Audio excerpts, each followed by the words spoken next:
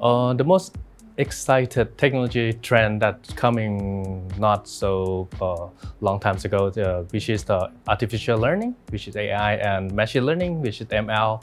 Uh, I think both of the technology that can uh, optimize all the um, hotel hospitality platform and also um, maximizing the pot- potential for the revenue for the hotels.